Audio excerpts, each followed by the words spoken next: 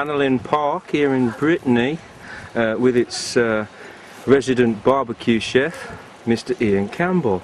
Hello. Uh, chef Campbell, yeah. um, what is the difference between uh, a briquette and lumpwood charcoal? Well, it's got a bit of weight. It's the- the oh, it's got a bit of okay. weight. eh? Right, okay. Everything's the weight. And Mr. Campbell, what is the difference between a sausage and a burger? well, again, it's got a bit of weight.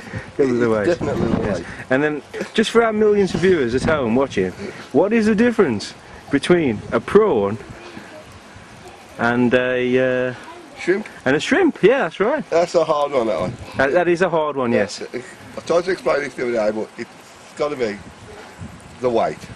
Thank you very much, Chef You're Campbell. welcome, you're welcome.